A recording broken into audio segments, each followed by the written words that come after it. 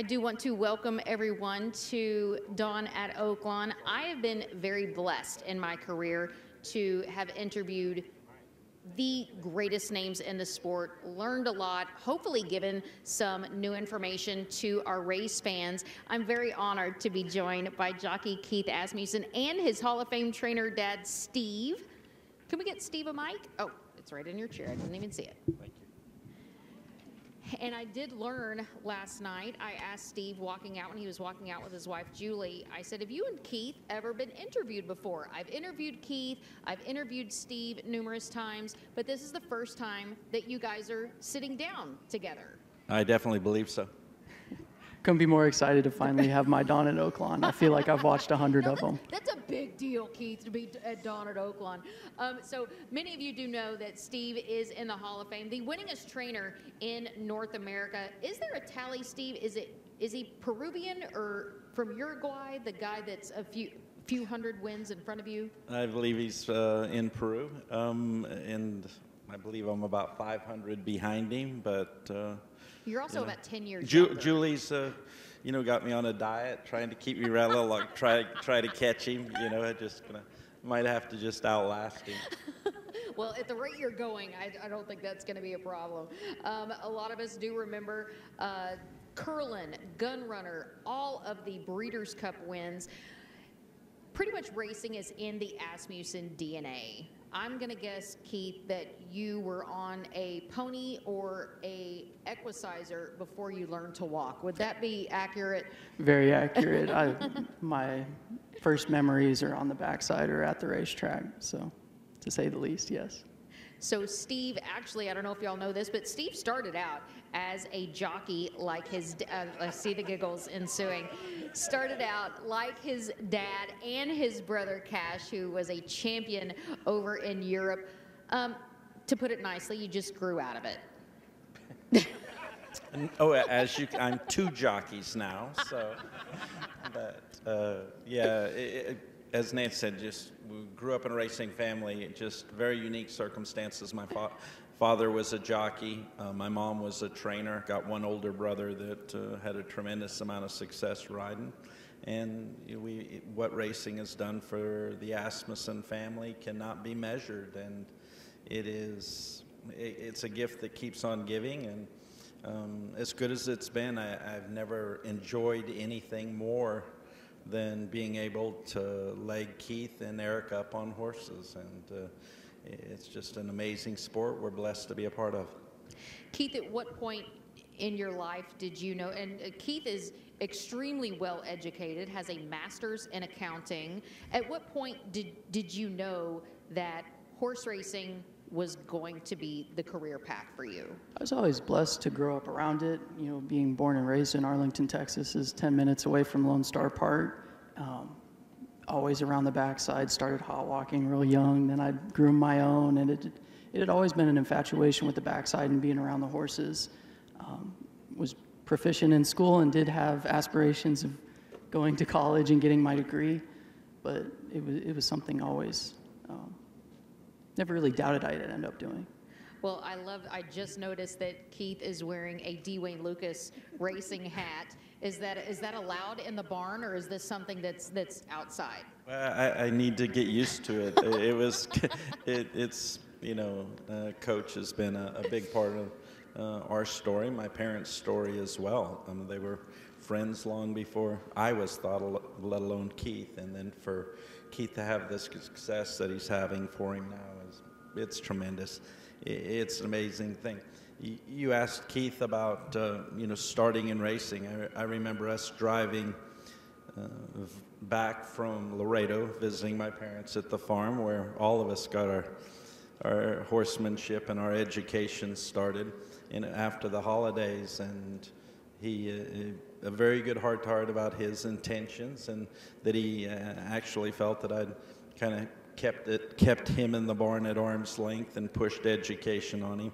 And it, it was very eye opening for me, you know, his his desire to be a part of this and how much he actually knew. And I, was just uh, wanting him to experience the things that, that I felt that I'd missed out on and, you know, uh, just the gra- grass isn't always greener, and the, for him to have the level of success doing this and doing it as well as he is, couldn't be a prouder parent. So I like to say be, behind every successful man is an amazing woman. And you both have a several amazing women behind you. First, your mom Marilyn, who is one heck of a spitfire. Love her to death. And also your wife and your mom Julie. What advice did she give you, Keith, when you decided that you were going to be a have a jockey as a profession? Right. I'd always uh, been on horses and loved galloping horses in the morning, and it wasn't really until COVID hit in 2020 and I was able to, you know, gallop for a longer stint. Growing up around the racetrack, it's it's hard not to admit that everybody kind of wants to be a jockey, and I, I was I was very lucky. I had transparent conversation with my parents. I was like, this is something I want to try. I don't care if it's one race. It's something no one can take away from me. It's just something I really want to experience. And I was just really upfront with them, and they've supported me all the way. And I'm truly blessed in that dimension. So you not only had one son decide to make this a career path, but his son Eric is also a professional rider as well. Raising three boys, did you think, okay, I'm going to be legging them up one day in the afternoon? At their size, um, I didn't. and, and honestly, for them to, um, it, it, the success we've had is obvious, and they could have sat in the turf club and been an expert their whole life by not putting themselves out there, and for them to show the discipline at their height, to maintain the weight and be as good as they are, and just uh, horse racing is very unique and. Um, you, you stand here and talk about accomplishments, and that will not do us a favor in the first. You, you, you have to do it again, and nobody walks over with any plans other than winning, and it, it can be the most humbling thing there is, is to you know go through a cold spell or something. But for both the boys, you know, Darren put themselves out there and be willing to be in the arena. Um, I, I, think is the most important thing. You'd mentioned, you know, Julie and what she's done. Well, thanks to Equibase, you can look it up. And uh, my stat, I think I started in '86, and um, me and Julie got together in '95. I, I would have to say she deserves more than a little bit of credit for, uh, you know, getting us on the the focus and the support when needed, and, you know, and pat on the head when you need it and a kick in the hiney when you do you know. But uh, both of us, I mean, all of us, uh, what Julie has done for us is immeasurable. Horse racing is a family sport.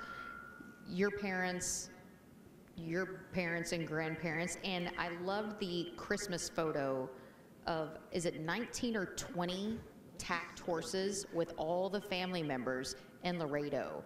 If that is not a picture postcard for the Asmussen family, I don't know what is because it's not only your profession, but it's a passion. It has to be to put in this amount of work, the dedication, and especially for you and your brother now, the diet, just just the mental game in itself. What is that? Is there more pressure? Do you think, Keith, because of your last name when you get out there in the afternoon? No, I, I think I really simplify it. I I was always just so ready to do it because the, the feeling of being on a thoroughbred racehorse at full flight that's second to none and i mean when you take a step back and just really appreciate that it's i don't i don't believe i really get nervous over expectations or anything. I just feel incredibly blessed to do it. We obviously have to be competitive have that competitive drive. You're very competitive. How do you decide when you have a horse racing and your son is on a rival? How do you do you separate the two, or is it a, a combination of emotion? Uh, it's very separated. Uh, running multiple horses in races uh, nowadays is necessary, uh, mainly, usually just to get races to fill. So you're that.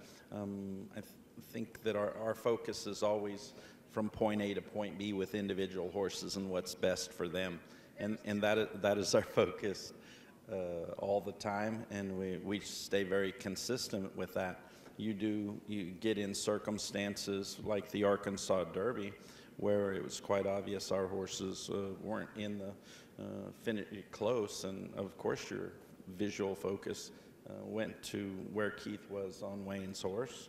But I, I think that's in the moment. But your plans going into a race, we stay very consistent with and try to execute that.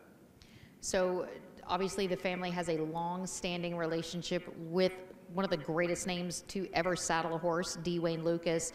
Ironically, Keith didn't win his first race at Oaklawn for his dad, but it was for Wayne Lukas. It was very cool that you and Julie were in the win picture. And I think it's kind of cool that Keith accomplished something that you never have. I mean, not to rub dirt in the wound, uh-huh. but Keith won not only his first stakes race, but his first graded stakes. And unfortunately, you never accomplished that. Again, I'm going to highlight your son here. But there began a relationship with Wayne.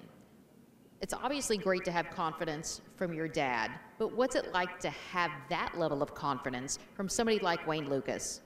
Oh, it's, it's, talk about an invigorating feeling having someone like that on your side. A level of horsemanship that is second to none. I uh, arrogantly think I know a lot, and then you start comparing. You're like, dang, you are literally an ice cube compared to an iceberg of just knowledge and experience in this sport. Papa Rocket, my first winner at Oaklawn, couldn't have been a more sentimental win for the coach, just given the familial history. And even with Lemon Muffin, my first graded stakes win, is an incredible source of pride, very emotional. I remember I was very um, upset. I, I was supposed to ride Rivet, who's Mr. Oaklawn, in the Chick Lang at Baltimore. And the Thursday before, like three days before the Chick Lang, I broke my finger at Lone Star. And it was just something you're always working towards, and you're so tunnel vision into it. And sometimes, you know, things like that happen. You have to take a step back, and you're to kind of come together and make something like that happen was incredibly emotional for me. I was actually standing in the tunnel or to go into the paddock with Wayne when they were on the track for the Honeybee. Lemon Muffin was a maiden. She'd never won a race prior to the Honeybee.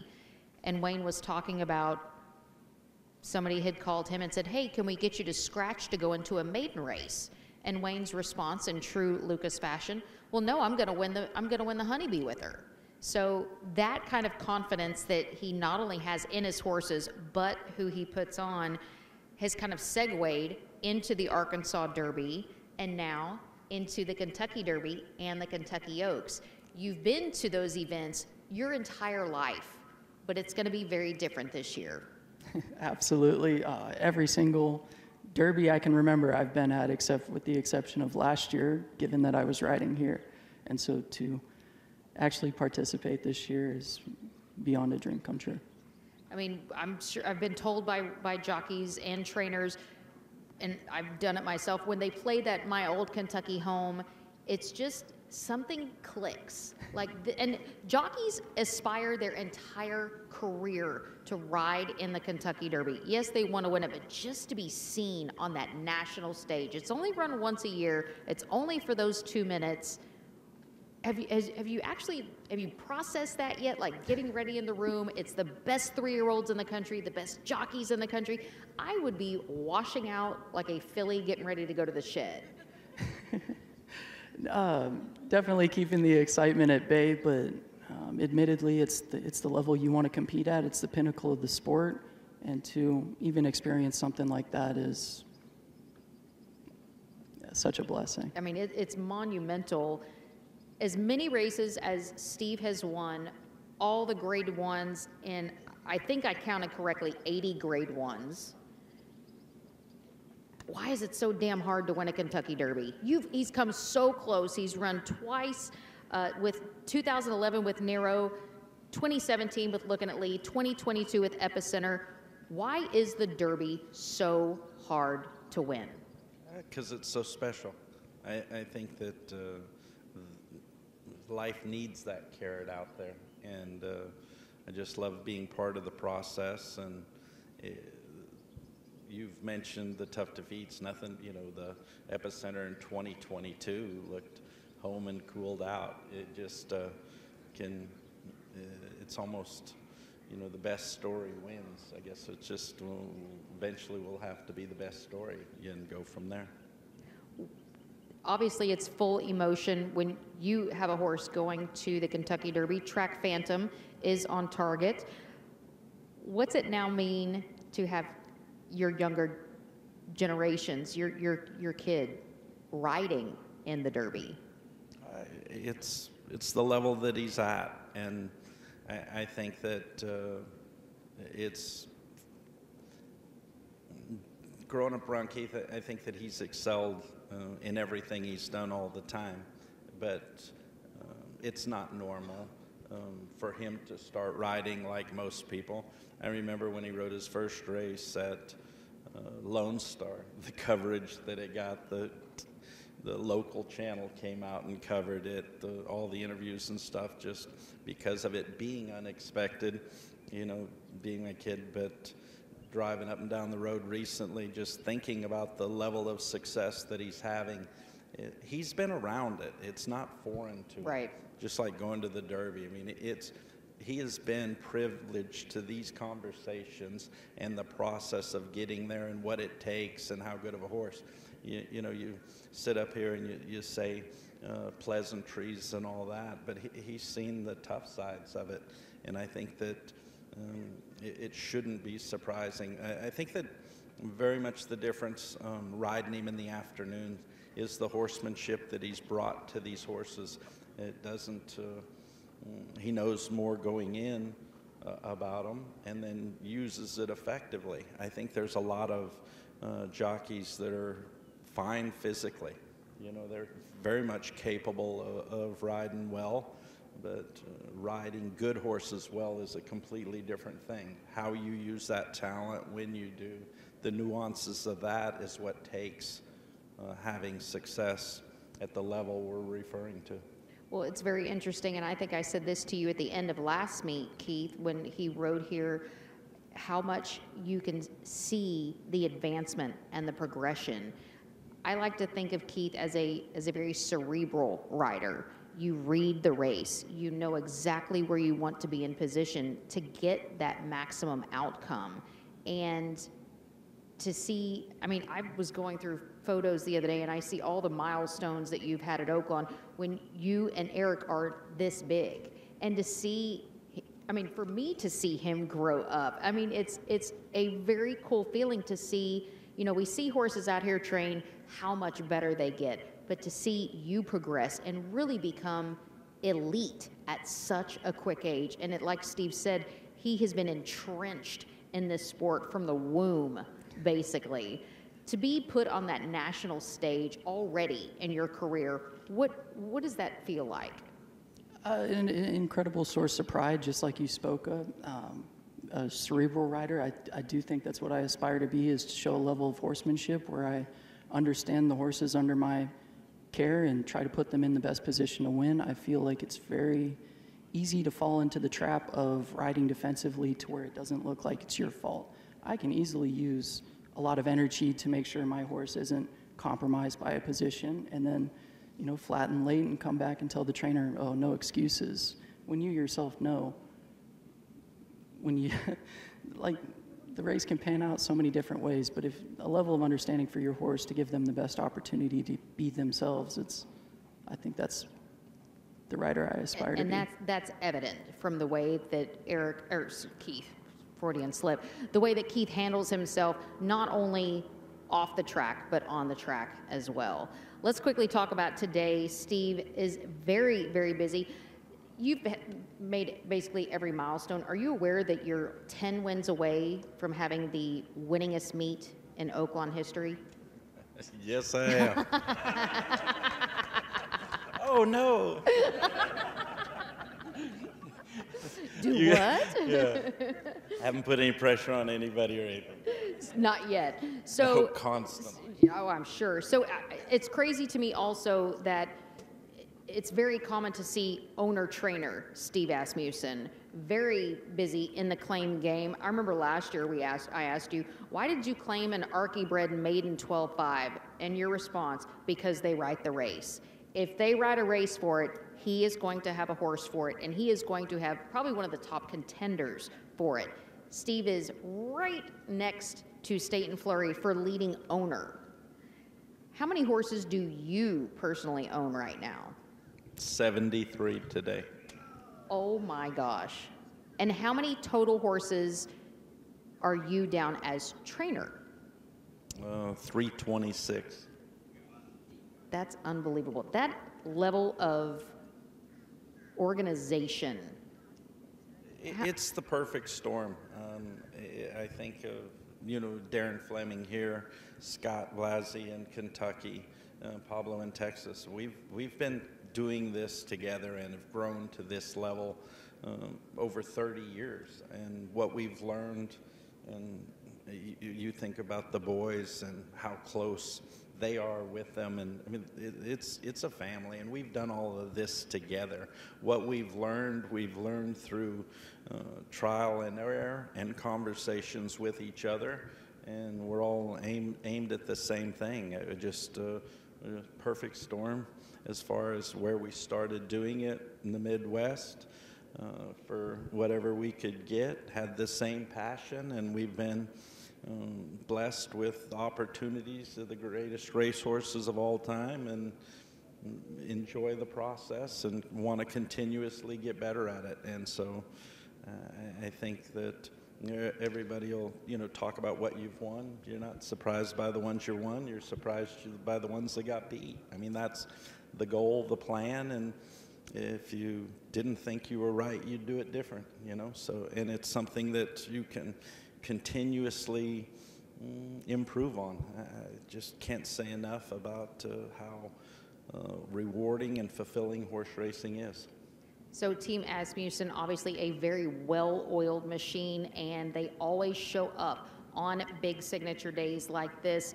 Uh, Steve is looking to repeat not only the Count Fleet Sprint victory, but also this year's Apple Blossom. Let's real quickly talk about the Count Fleet Sprint. Steve has won this race five times, and including the last two years, he has three chances to win it today. Uh, best chance, probably, I like to think, is going to be Skelly, who is an absolute monster of a sprinter. Ricardo Santana in the irons. He's a millionaire. He was actually last year's winner in the Count Fleet Sprint. Uh, last year, he won from the bell. He loves Oaklawn Park. Talking about Skelly, Rivet, who Keith will ride. It's got to be one of your favorite horses Absolutely. also Jaxon Traveler, who's a multiple Grade 3 winner and most recently did win the Grade 3 Whitmore in his last start here. Steve, when you do have three contenders uh, in, a, in an abbreviated field, how important is, is race makeup, pace? How do you determine what to tell everybody? Or do you just say good luck? I, think in this circumstances, good luck will come into play. I am not 100% on running Rivet today because of Skelly, and I have scheduled a call with uh, Heiligbrodts today to discuss that because when Skelly's on, he would, um, as you mentioned, he's the fat, quickest horse in the race, and he does have the variable of traveling to Saudi and coming back, and is he the same Skelly? So, you know, I still have that to sort out today. And uh, I I think that the weather, uh, perfect conditions. Yes. You know, so kind of was waiting to see that as well from all the rain we had earlier in the week, but it couldn't, couldn't be any prettier today. So that's still yet to be decided. But uh, is, if Skelly runs his typical Oaklawn race, he is the fastest horse in the field. So after Skelly ran at Oaklawn, he then traveled to Riyadh in Saudi Arabia and was second in a million and a half dollar sprint over there. One thing that your barn has definitely become accustomed to is international travel, international racing. How much does that take out of a horse? Say, for example, Skelly in not they have to go through a whole quarantine process. So the travel, the just getting used to new surroundings. Do better horses typically adapt quicker? I, I think it, personality. I think it's all of us travel a little different. It's the same thing with horses. Uh, I do believe that it is a benefit for Skelly. Uh, being a gelding, being an older horse, he, he does have uh, uh, very nice disposition as far as handling. He's not hard on himself, doesn't get overly wound up, uh, trailer, travel, things like that. Um, with all that being said, he still did go to Riyadh Right. during the meet and, and not like came he went back to sat- Keeneland. and the, the quarantine on your way back is a week of missed training. You know, there there- it's not ideal, but he's still Skelly, and it's still a race. But because a horse like that is so fit, they're they're constantly training. A week is probably like it is a vacation for them. But I'm sure by the time he does come back, he is ready to go. It's it's different. It really is, and we just tried to keep him from doing too much off the bench when he came back. And then, you know, his work a, a week ago was concerned that he wanted to do too much, and uh, a couple of days off of it, just a, a touch tireder than off of a normal work. But uh, about Thursday of this week, he was very lively and back to himself. And this morning, he's bright and alert and looks like he's ready to play. Steve has won the Apple Blossom three times, most recently last year with the standout Clariere. Uh, Keith will be riding Bellamore, who does represent the barn, finished a neck in front of a horse who does return in the field free like a girl, uh, and that was two back. In the Houston Ladies Classic, was third behind runner-up Misty Vale, last out in the Azeri. in the money, all five at the distance. What are your thoughts on Bellamore? Bob Baffert has shipped a horse in. Saffie Joseph has shipped a horse in. Keith, I'm going to send this one to you. What are your thoughts on Bellamore? Do you get on her in the mornings, I assume? Yes, I do. And even before she won the Houston Ladies Classic, she was training here. I've been lucky enough to be around her, an incredibly classy and talented race mare. I have a world of confidence in her today. What are your thoughts about the, the pace scenario and just because there's I'm they're anticipating a lot of people here today. What are your thoughts about the whole process for her? Uh, It's a tremendous opportunity, and why we're in this. It, it's um it's going to require a better race than our last two, and we feel that we that we're going to get a faster race from her today because it'll be necessary. I couldn't. Um, uh, as Keith mentioned, he was working her before she went to Houston. Obviously, we were pleased with her. Perfect outcome with her there. Came back for the Azeri. Um, but uh, all systems are go. She's, I love how she looks. I love how she's handling, and I think her head's exactly where it needs to be. And she's going to uh, put it out there this afternoon when it matters most.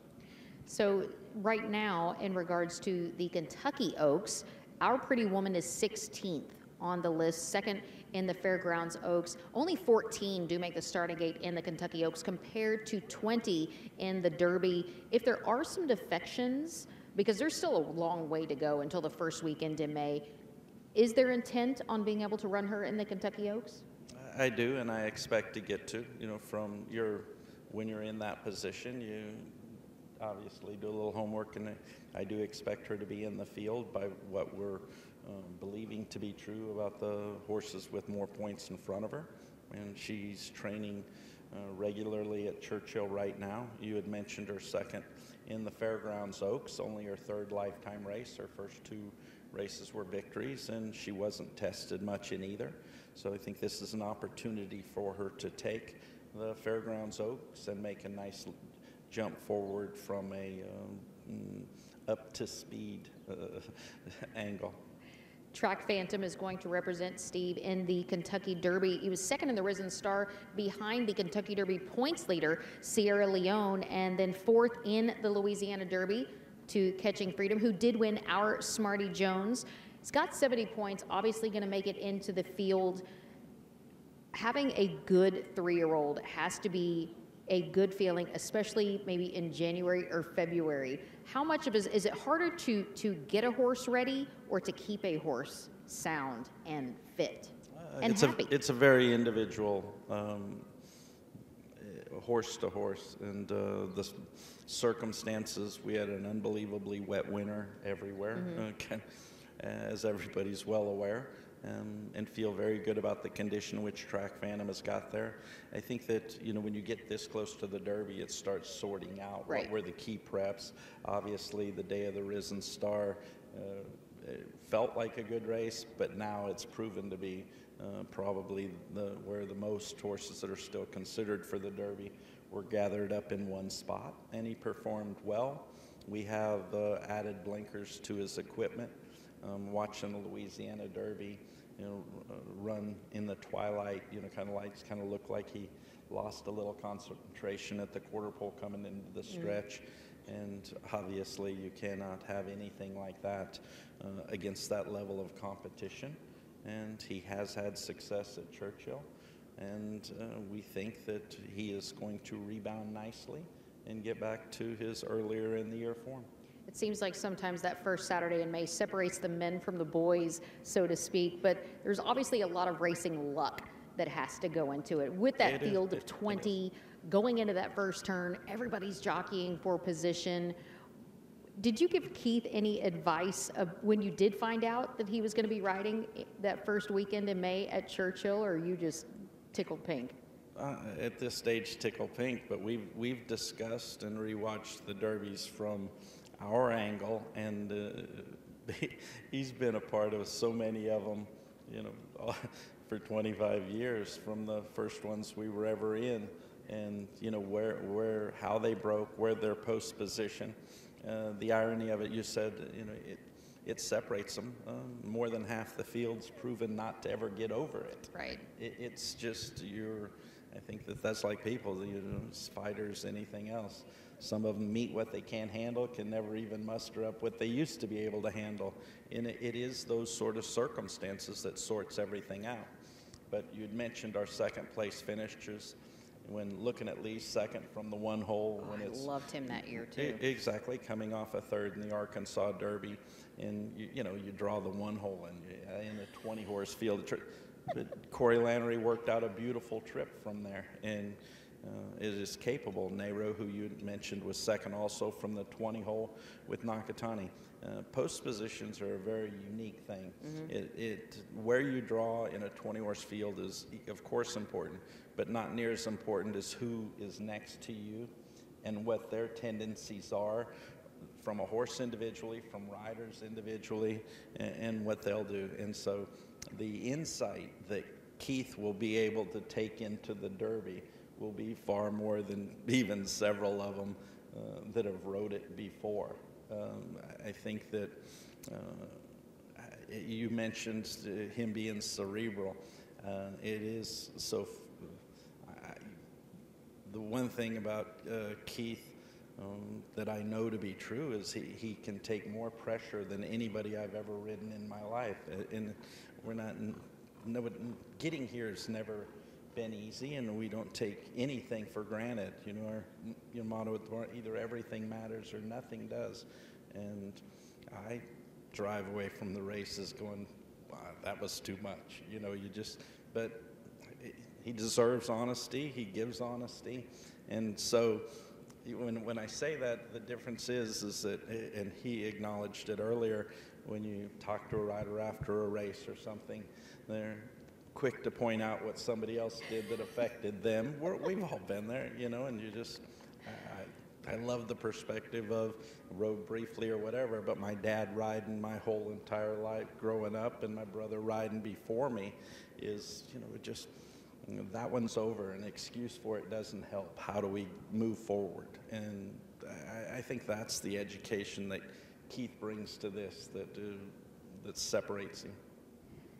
Keith, who were some of the guys in the room that kind of maybe pulled you aside after certain races, helped you watch a video, helped you break, and I'm sure you, you already knew how to break down a replay, but that kind of did pull you aside to, to maybe give you some advice or, or words of encouragement?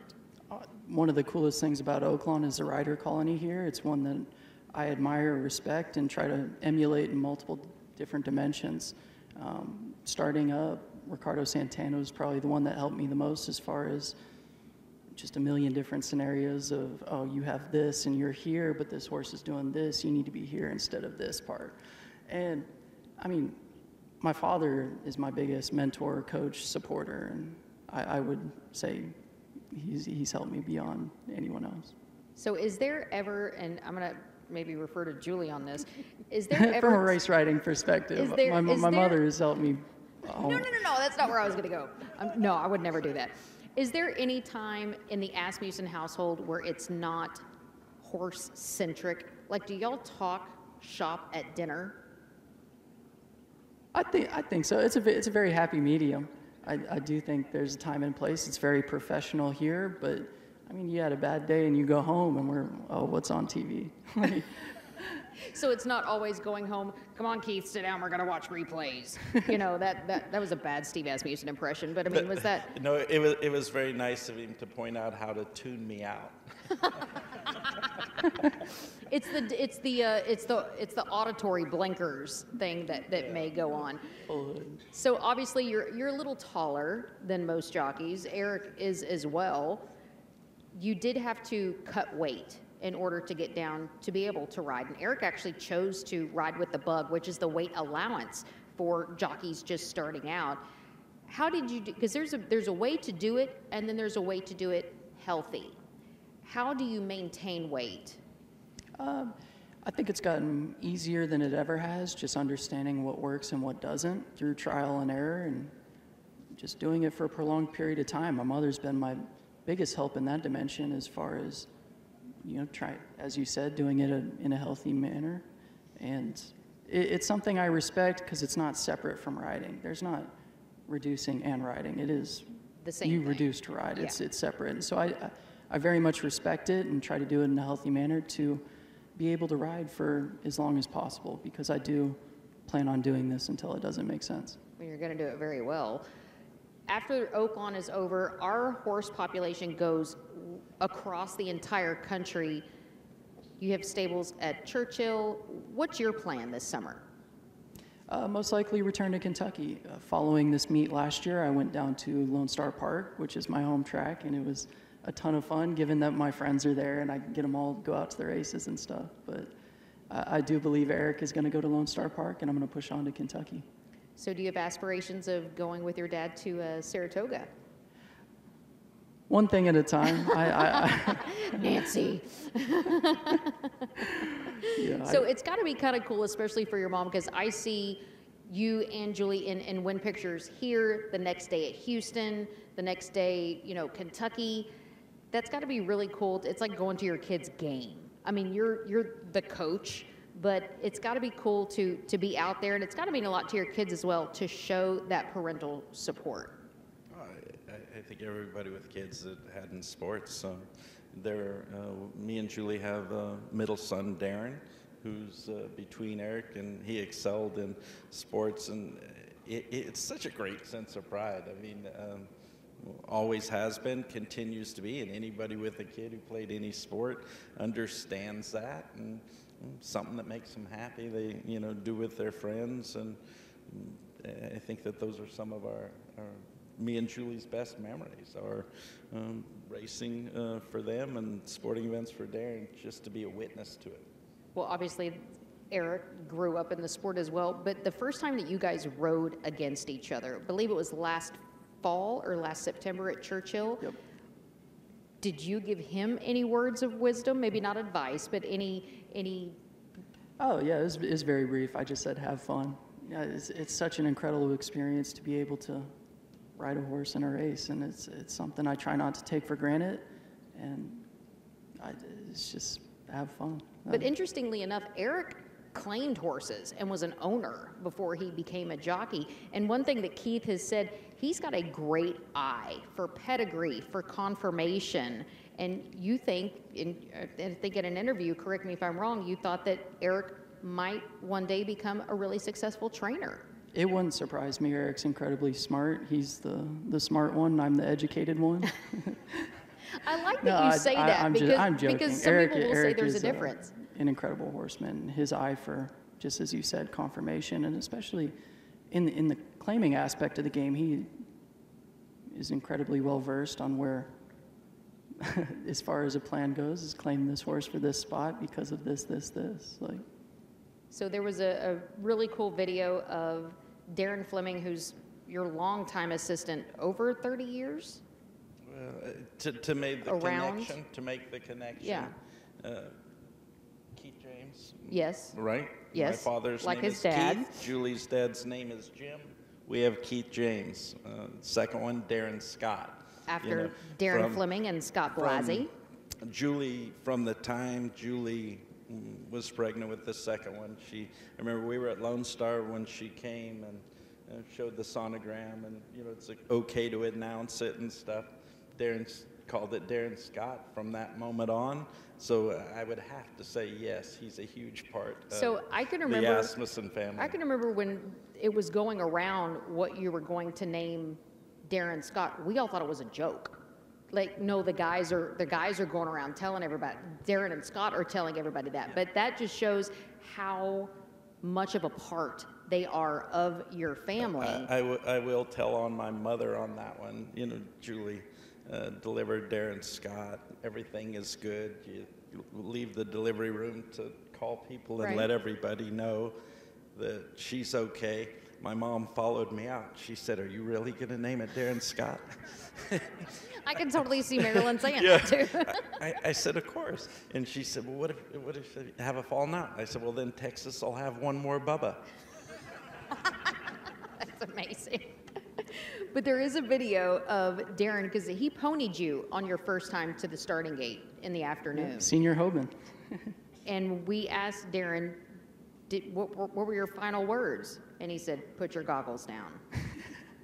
Is that probably accurate? Very accurate. you know, it's, you're thinking a million things except for. No, uh, the, uh, all of the boys are just uh, so fortunate to have Darren and Scott and Pablo in their lives. And y- you mentioned uh, me and Julie traveling, going to them. Uh, they've had parents every barn they've ever been in, whether it was me or Julie or not, that have, you know, that love them and look out for them and put them on the right path. If you have children that want to follow in your footsteps, what's going to be your words of wisdom for them? Uh, just make sure they have an understanding of, you know, the physical and emotional demands of it. I, I do believe it's a beautiful profession. I've always been extremely infatuated to it. As far as, I mean, it's it's something that's so beautiful to me. Just watching jockeys, and I mean, you add the art of race riding to it, and it's something that I, I just I, I believe is an art form, and when done correctly, is a spectacle that's very hard to emulate. And it's, I, I would just, as far as advice goes, make sure they understand what it entails, but not dissuade in any manner. Steve, you've obviously been under the, the spotlight for years. Maybe, I'd like to think maybe valid expectations really put you on that national spotlight. And that was many, many years ago. Now that you have your sons working with you, do you feel that's maybe made you a little softer? I, wish it would. I, I mean, it's. Keith is over here saying, no. Well, it, it needs to. You know, you, you, Julie reminds me of our many blessings constantly, and you, this is a sport where you, you it has all of you. I mean, you put everything into it, and um, what's every all of them. They, they, it's a hundred percent. All all you have is a hundred percent, and you got to give a hundred percent, and that's who we are.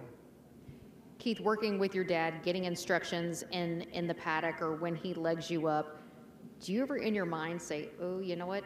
I don't want to take this horse to the lead. I really like to take this horse back. Or do you do, because it's always easier to do what the trainer tells you and get beat than to do what a jockey wants to do and maybe not have the outcome that they want. Is there, is it a catch 22 sometimes? No, I believe my father has filled me with like, unbounded confidence. I, I, I feel incredibly invigorated riding for him because he has such a level of confidence in me. I feel like I can make decisions without hesitation. Coming into the paddock today, Steve, for the Count Fleet, definitely potential Breeders' Cup winner.